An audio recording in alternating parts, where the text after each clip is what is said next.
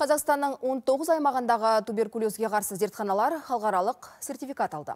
Осылайша жұқпалы ауруды дер кезінде анықтаудың мүмкіндігі артып отыр. Бұл туралы бүгін Алматыда өткен орталық Азияда туберкулезді жою жобасының қорытынды конференциясында айтылды. ақш халықаралық даму бойынша агенттігінің демеуімен өткен жиында көксауды жою жобасының 5 жылдық жұмысы қорытындыланды. Осы уақыт аралығында аурудың алдын алуға арналған инновациялық тәсілдер енгізіліп, шұғыл ем шаралары және зерттеулер атқарылды. ақш халықаралық даму бойынша агенттігі 5 жылда еліміздегі медициналық мекемелерге жалпы құны 31 миллион доллар болатын техникалық көмек көрсеткен.